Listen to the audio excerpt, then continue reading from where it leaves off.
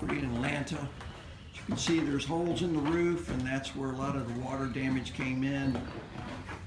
And it's gonna be replaced and patched.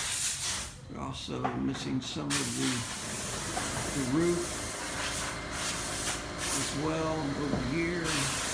Things are coming together. Moving along, we're down here at the back.